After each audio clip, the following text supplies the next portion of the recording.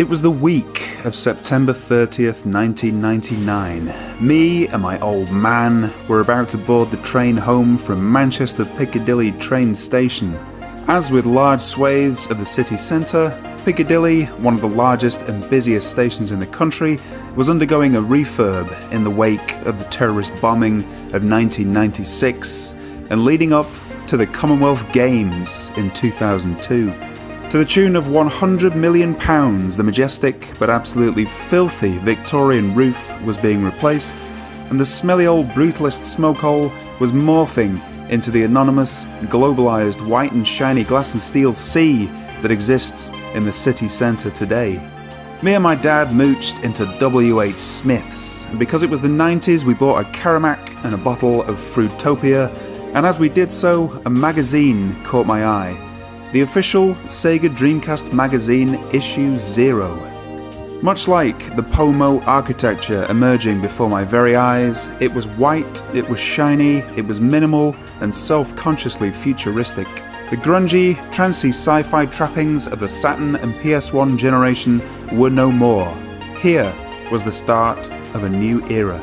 In true 90s fashion, it even came with a VHS tape stuck to the front cover. On September the 23rd, Sega bring you the key to the future of interactive multiplayer gaming. Get alive and get a Dreamcast. Dreamcast is the most powerful games console in the world's history by far. And it's the first games console that will bring you into the world of online gaming, emailing, and worldwide web surfing. Dreamcast will take you beyond your expectations. Its unrivaled 128-bit technology leaps ahead of current systems in terms of graphics, speed, and pure unadulterated gameplay. Dreamcast's awesome speed can deliver over 4 million polygons a second, making it look better and play better than anything your TV has ever seen. Fluid animation, lighting effects, 3D environments, and textures appear more lifelike than ever thought possible.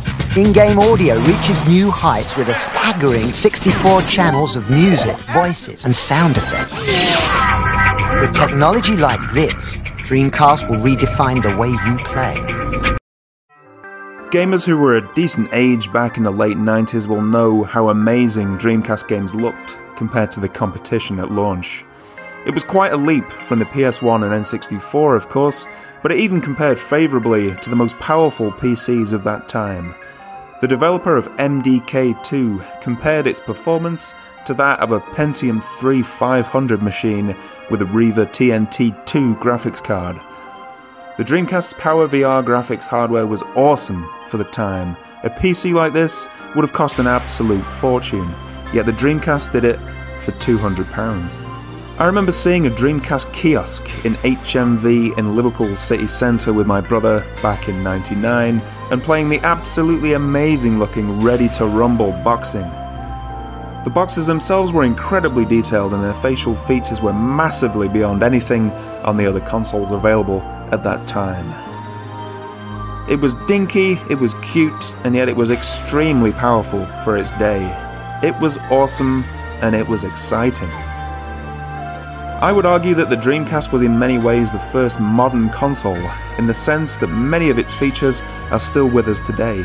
It was a PC friendly Windows CE powered system, along with a modem and internet access. Along with the iMac released in 1998, it seemed to herald a new era of consumer electronics. In fact, I would argue that the design of a great deal of today's consumer tech, at least in terms of their aesthetics, is largely a refinement of the stuff that was being released around this time. Soon, everything would be white, or black, shiny, and minimal. Anyway, this is probably a bit contentious, but I'd also say that the Dreamcast was the first console that could really do 3D graphics properly. Many would say the PlayStation did it first, others might say it was the N64, but when you saw the Dreamcast outputting something like Sonic Adventure of 480p resolution in RGB at a high frame rate, the other console games looked very crude indeed. The majority of N64 games moved at an absolute snail's pace in comparison. Its low poly models and very simplistic textures, along with its visual filter, gave a distinctly murky presentation. The PlayStation and Saturn's non perspective correct textures, low resolutions, and low frame rates were, well, they were blown away. And as for something like Shenmue, this realistic, rich, textured, and absolutely enormous virtual world was far beyond the last generation consoles. Anyway, enough preamble. The Dreamcast has a special place in my heart, and because I'm an idiot and I can't think of a better idea for a video at the moment, I'm gonna look at every official Dreamcast game ever released, and I'm gonna do it in release order. This, I think, is a lot more interesting and less abstract than the usual alphabetical order. If we do it by release, we can go on a journey from the Japanese launch right through to 2D shooter Kuro, or Crow, released in the space year 2007, and it'll also give me a chance to waffle on about the video game landscape at that time, to put this brave little console in a bit of context, and hopefully create a sort of map of this white, shiny 480p continent. If I get this series finished before I die, I'll be very surprised. But hey, aim for the moon and all that, eh? So, strap yourselves in and join me on a sacred quest into the magical world of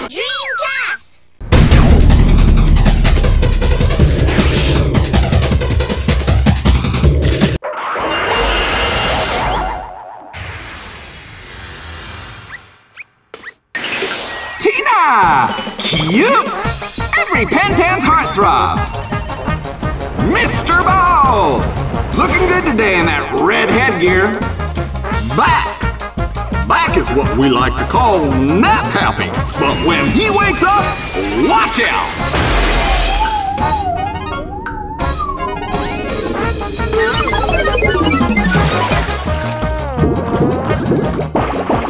Sneak!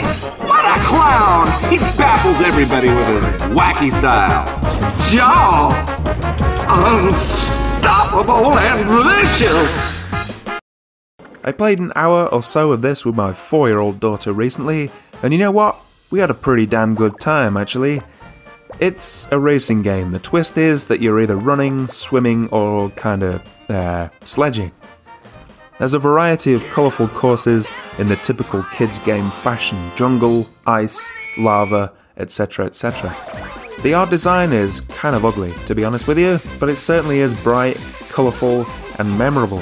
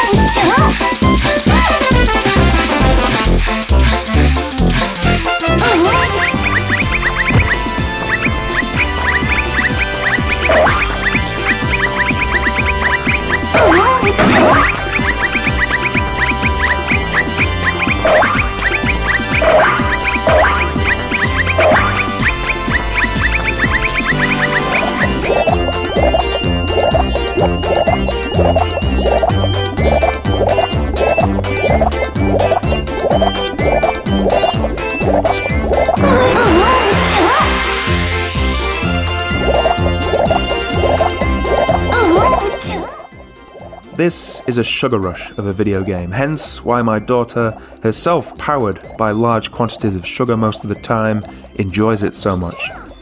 It didn't get very good reviews at the time, but it's still good crack today, in my opinion, especially if you have a wee nipper to enjoy it with.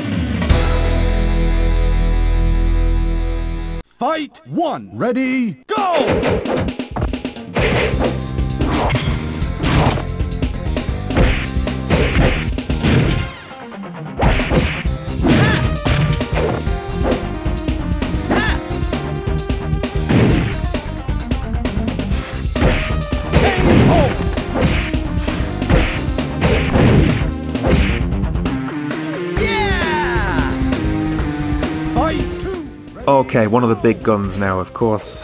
We'll go back to the Saturn era for a minute to start this discussion, if you'll permit me. Virtua Fighter 3 stunned everybody at the arcades back in 1996 with its absolutely ludicrous 3D visuals. I remember seeing screenshots of this tech demo in the official Saturn magazine back in those days and just being astonished by how realistic it looked. Pretty much like a high end pre rendered image of that time.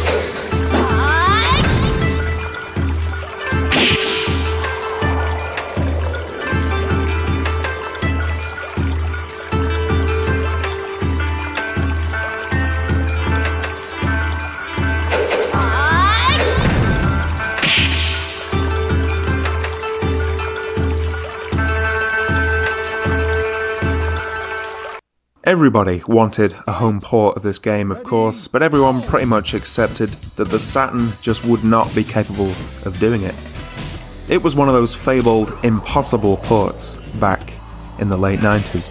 Having said that, there was apparently a port in development for the Saturn, but it was abandoned, and we got Fighters Megamix as a sort of apology to us loyal Sega Saturn fans featuring a huge number of characters, some movesets from Virtua Fighter 3, and some dumb but very fun game mechanics. The game was a pretty good time, but it was no Virtua Fighter 3. A bit like Sonic Adventure, as the Dreamcast approached, Sega announced that Virtua Fighter 3 would be there at launch. A big theme for Sega at this time was, a bit like Sam Beckett from Quantum Leap, putting right what once went wrong.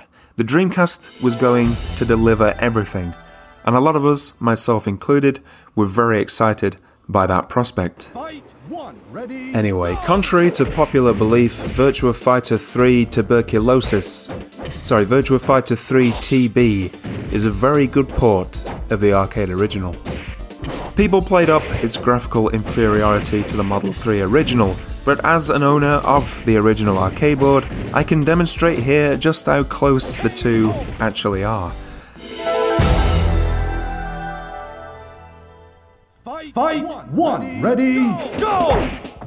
It's not an entirely fair comparison because the Dreamcast is actually based on a different version of Virtua Fighter 3 than the arcade original you can see here. There are numerous differences, including the times of day and the stage here most notably, but nevertheless, I think it'll give us a good idea of the relative merits of the graphics in these two versions. K.O.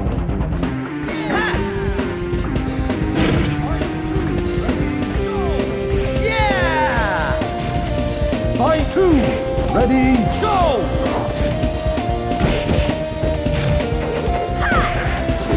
Hey! Hey!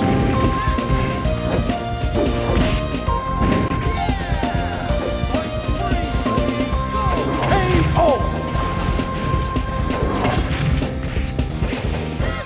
あなたには空風が足りないわ。Fight three! Ready, go!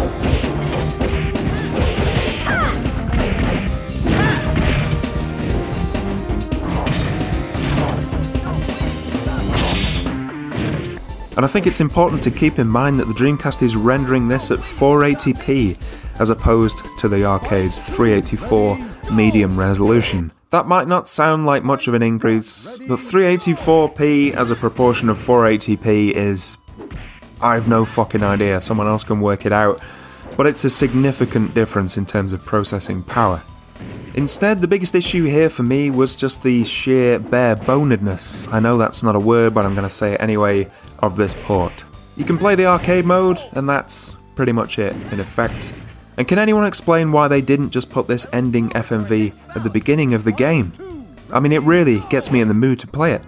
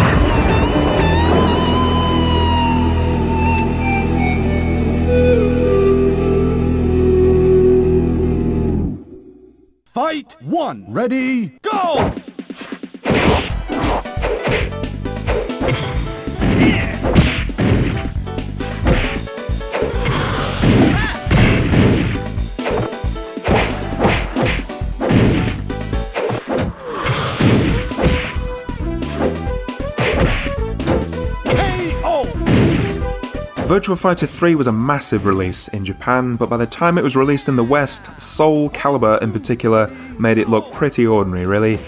In the graphics department at least, and the title had just lost some of its luster overall for one reason or another. It just wasn't the big draw that it would have been perhaps even a year earlier.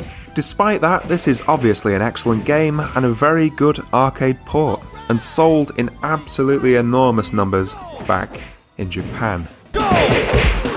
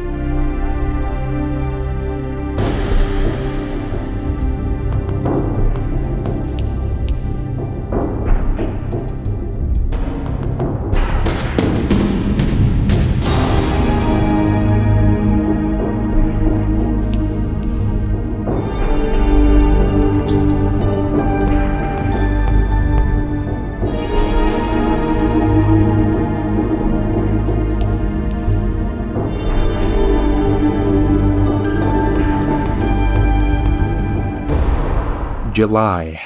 I don't read or speak Japanese whatsoever, and there's no translation patch out there for this game, so I don't have a cat in hell's chance of getting anywhere with this one, unfortunately, but I put it on regardless.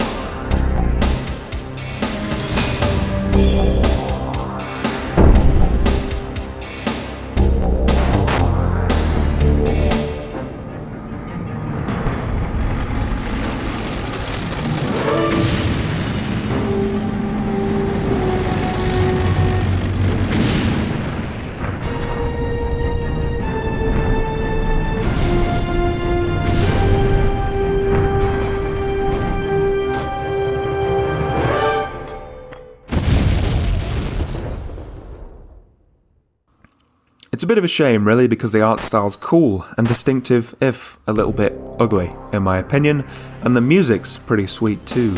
If any of you know more about this game, please let me know in the comments below.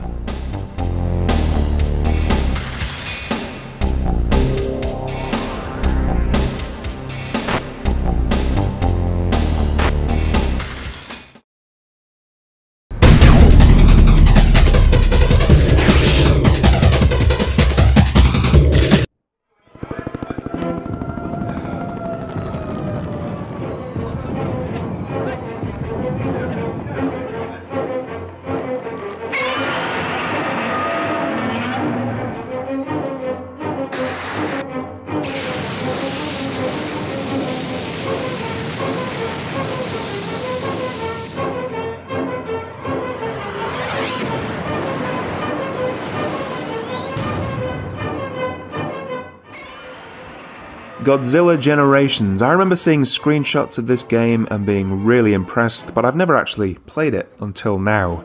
It strikes me as a quite fun, absorbing, but somewhat limited game.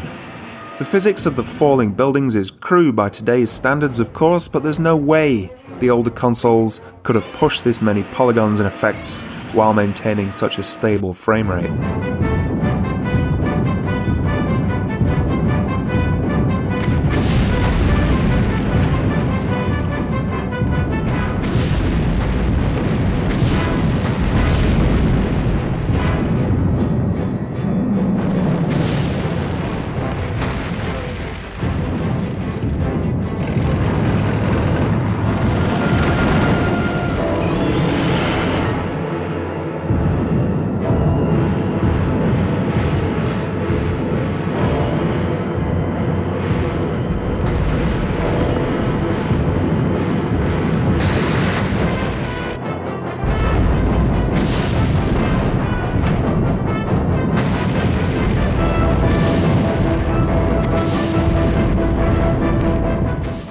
Godzilla is massive in Japan, no pun intended.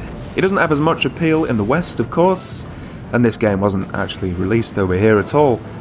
Thinking about it, this game came out the same year as the Godzilla movie featuring Ferris Bueller and Leon, so I guess this game was kind of riding its coattails a little bit, although thankfully it's based on the classic original Godzilla movies rather than the underwhelming Roland Emmerich blockbuster.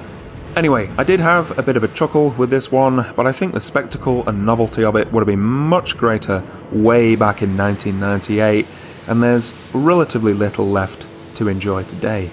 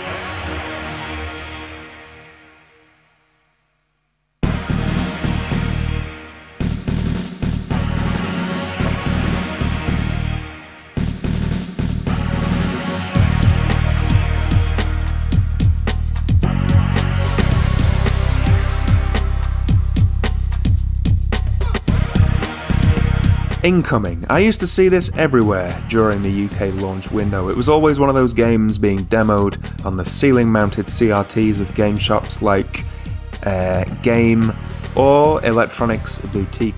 It was very impressive graphically at the time, and it was filled with prototypically 90s pumping tunes.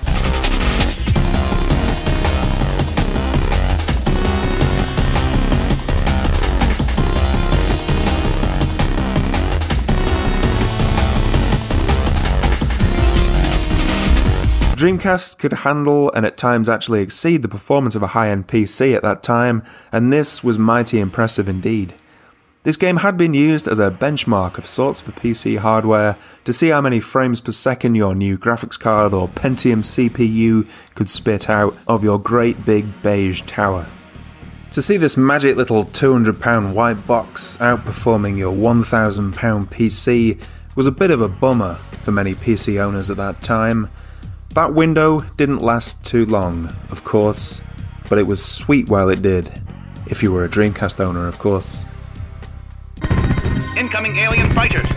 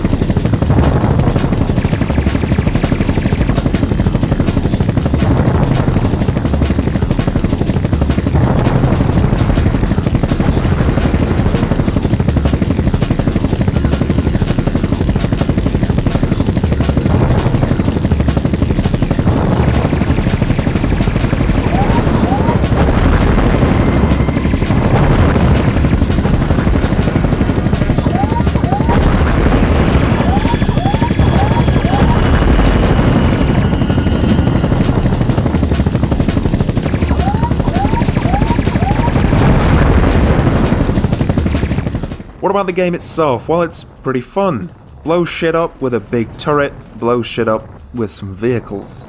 The graphics are nice, the tunes are good, it feels good in the hand. It is a solid arcade action game. Incoming is a good example of what many titles on the Dreamcast are, really. A single, relatively simple idea refined to a diamond tip with nice production values and cool art design. You just can't argue with that formula. Unlike many of today's titles, these games don't try and be all things to all people. They know exactly what they are, and they are very good at doing it. We will see many games with this very same ethos on Sega's Dreamcast as we continue on our quest.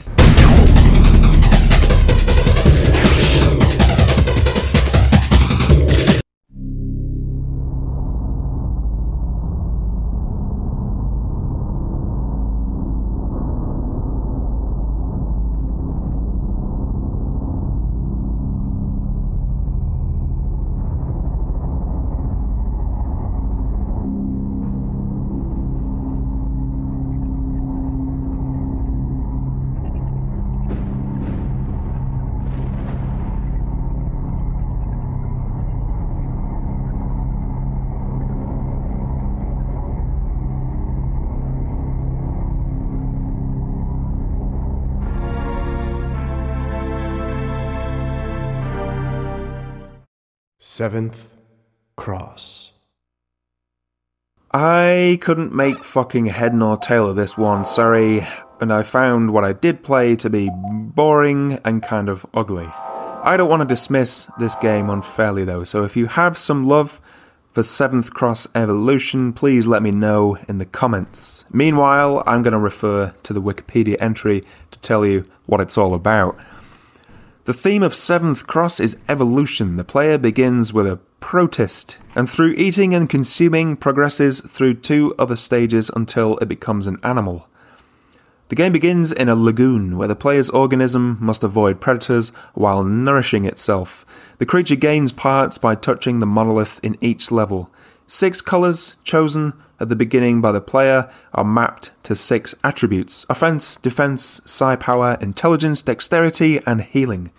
By creating patterns with these colours on a 10x10 grid and possessing the required amount of EVP, the creature may gain a new part. It may add to its head, body, legs, or arms. Seventh Cross contains six stages, each with a boss. The stages take place in different biomes, ranging from the pond to a barren future.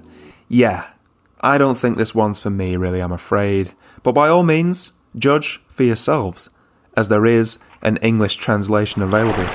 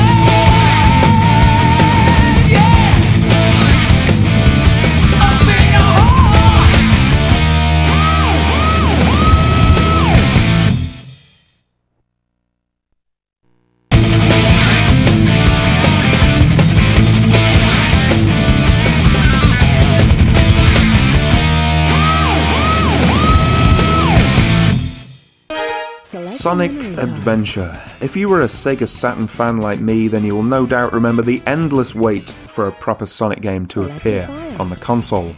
And we never got one. Sonic X-treme was hyped for years, and every month there seemed to be new screenshots in the official Sega Saturn magazine. This was going to be the big killer app for the Saturn. But it never arrived, of course. Instead, we got a few kind of Gaiden Sonic games, if you will. Racing game Sonic R, developed by British developer Traveller's Tales, compilations Sonic Jam, Sonic 3D, and one or two other bits. As the Dreamcast, or Katana, as it was referred to by the press, came closer to release, it was announced that Sonic would be there for the Dreamcast's launch. And my god, it looked amazing.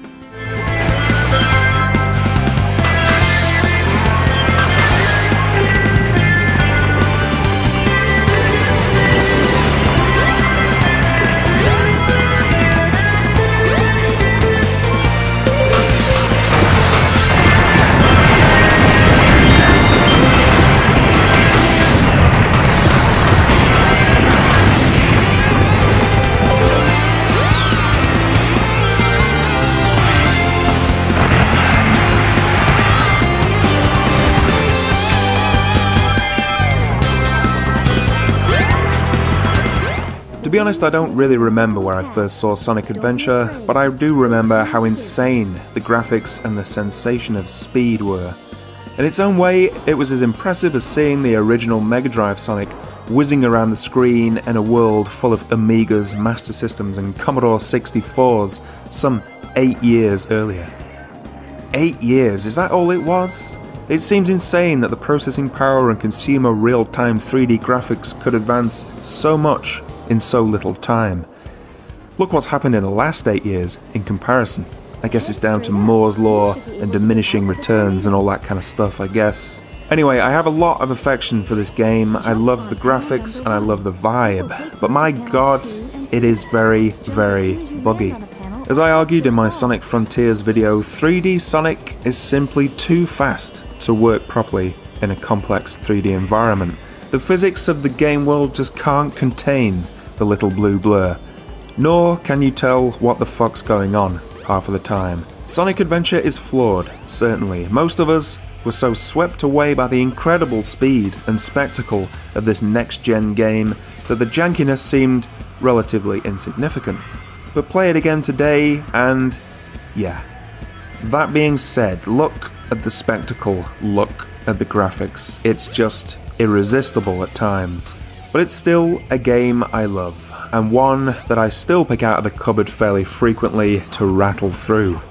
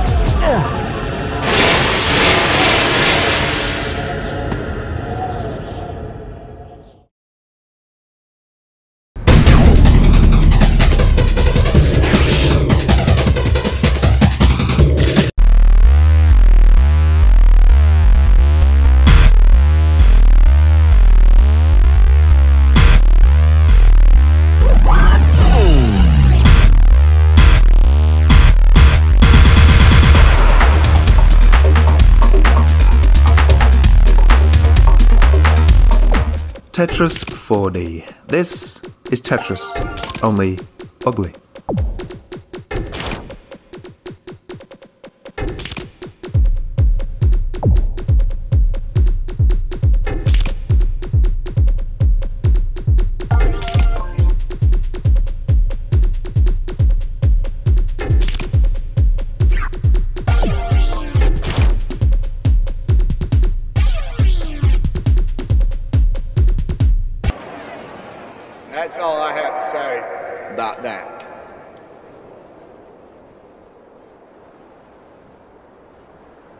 And so that about wraps her up for the Dreamcast in 1998. The Dreamcast release lineup in Japan wasn't nearly as strong as the Western release would be in September of 99. That being said, it did include some great games. In stage 2 of our Dream Quest, we'll move into the space year 1999 and see the Dreamcast truly begin to flex its muscle. What are your favourite Dreamcast launch title memories? Please let me know in the comments below. And please, please remember. Watch out! You're gonna crash! Ah!